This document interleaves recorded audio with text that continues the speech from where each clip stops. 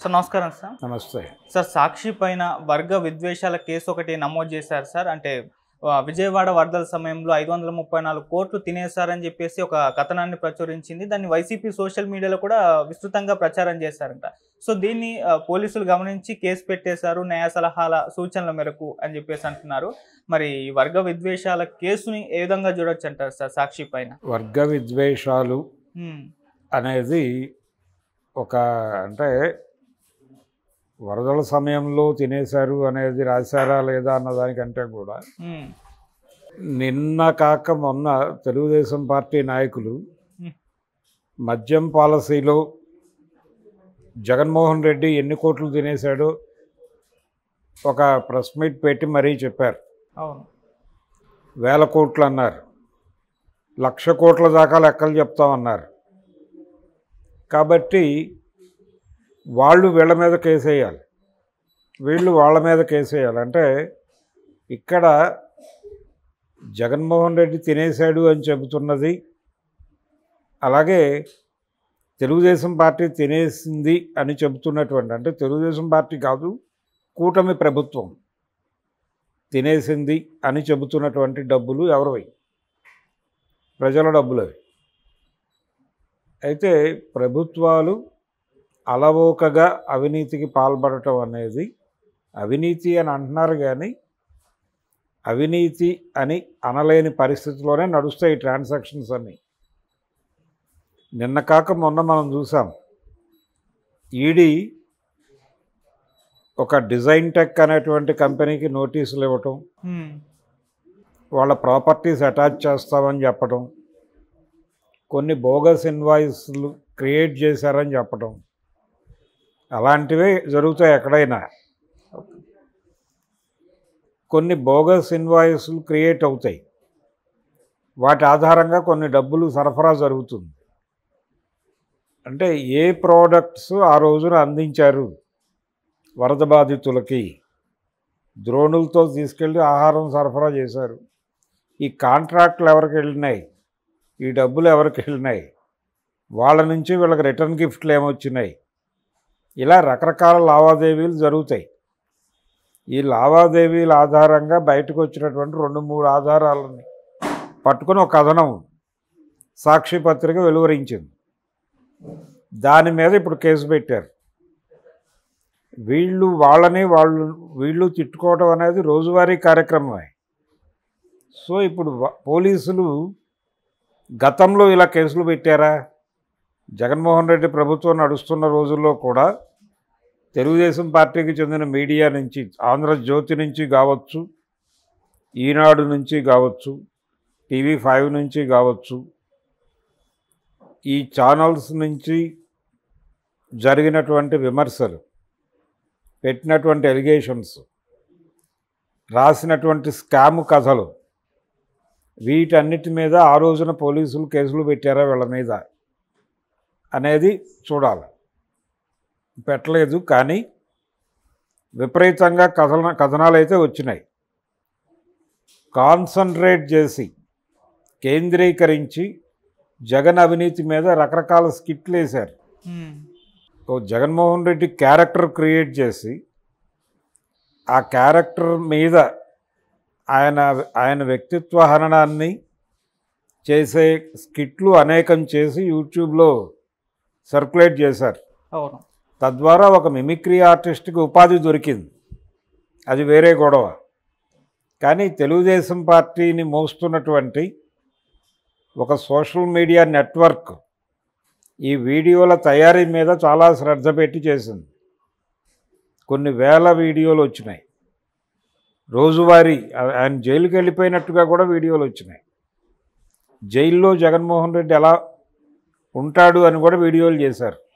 వాళ్ళ మీద కేసులు పెట్టలేదుగా? ఎందుకు పెట్టలేదు అంటే తెలియక పెట్టలేదు అనుకోవాలి. అయితే పత్రికల మీద కేసులు పెట్టడం అనేది మొదలైతే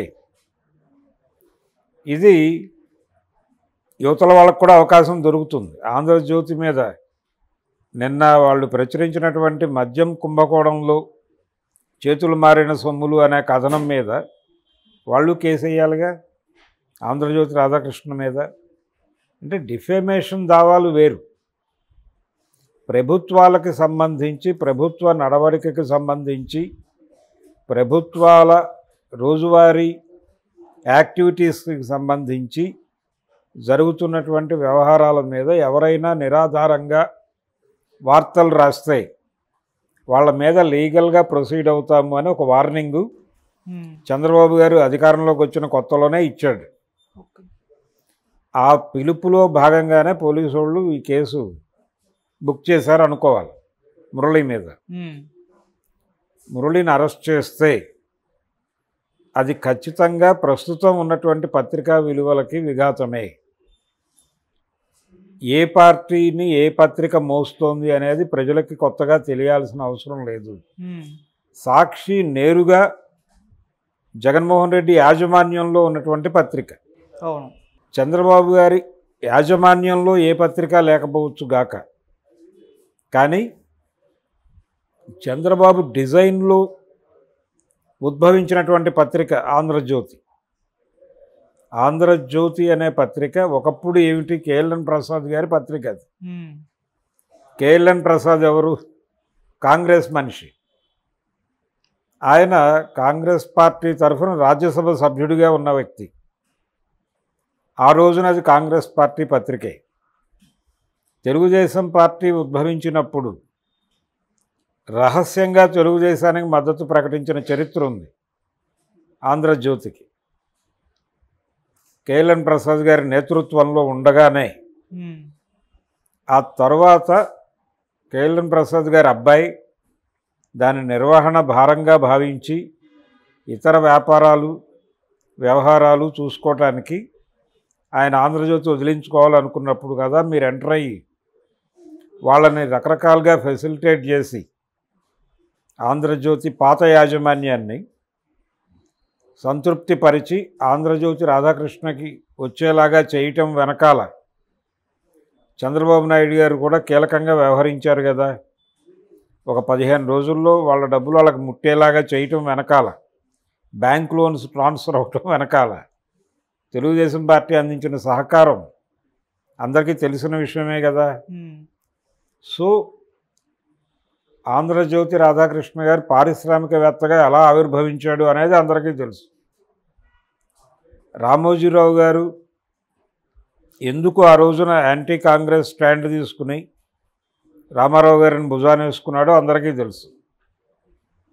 మద్యపాన నిషేధం అనేది ఒక ప్రోగ్రామ్గా తీసుకుని మద్యపాన నిషేధానికి ఒక పేజీ కేటాయించి ప్రభుత్వాన్ని అన్పాపులర్ చేసి కాంగ్రెస్ పార్టీ ప్రభుత్వాన్ని అన్పాపులర్ చేసి నిజానికి సంపూర్ణ మద్యపాన నిషేధం అనేది అప్పటికి జగ్ ముఖ్యమంత్రిగా ఉన్నటువంటి కోట్ల విజయభాస్కర్ రెడ్డి గారు ఆ మాట మాట్లాడేశాడు కూడా. మా పార్టీ తిరిగి అధికారంలోకి వస్తే మేము సంపూర్ణ మద్యపాన నిషేధం చేస్తాము. అనే మాట విజయభాస్కర్ రెడ్డి నోట్లోంచి వచ్చింది. అయితే ఆయన ఓడిపోయి రామారావు గెలిచి ఆయన మొదటి సంతకం దాని మీద పెట్టాడు. ఆ రోజున ప్రభుత్వాన్ని అన్పాపులర్ చేయటం కోసం మీరు ఒక పేజీ ఒక పేజీ కేటాయించారు కదా. మద్యపాన వ్యాపారంలో ఉన్నటువంటి కాంగ్రెస్ ఎంపీల మీద రకరకాల కథనాలు రాశారుగా మీరు. మాగుంట సుబ్బరామరెడ్డి వాళ్ళ మీద. ఇన్ని చేశారు మీరు. రావుల అంకయ్య గౌడ్ మీద వందలాది కథనాలు రాశారు జ్యోతి. అలాగే ఈనాడుల్లో అప్పుడెప్పుడు కనిపించలేదా? అవతల వాళ్ళని డిస్ట్రాయ్ చేస్తున్నాం అవతల వాళ్ళ ప్రతిష్టని భంగకరంగా వ్యవహరిస్తున్నాం అని వీళ్ళకి అనిపించలా. వీళ్ళ ప్రయోజనాల కోసం వాళ్ళ మీద దాడి చేశారు. ఈ దాడి వలన ఉపయోగపడిన ఈ దాడిని ఉపయోగపరుచుకున్నది ఎవరు? తెలుగుదేశం పార్టీ. అది ఎప్పుడైనా కావచ్చు. తొంభై నాలుగు ఎన్నికల్లో అయినా కావచ్చు. రెండు వేల పద్నాలుగు ఎన్నికల్లో కావచ్చు. రెండు వేల ఇరవై నాలుగు ఎన్నికల్లో కావచ్చు. షర్మిల గారి ఉపన్యాసాలు ఆవిడ కాంగ్రెస్ పార్టీ నాయకత్వంలో ఉండి జగన్మోహన్ రెడ్డి మీద చేసినటువంటి విమర్శల్ని హైలైట్ చేసి జనాల్లోకి మోసింది ఎవరు? తెలుగుదేశం మీడియానే. అలాగే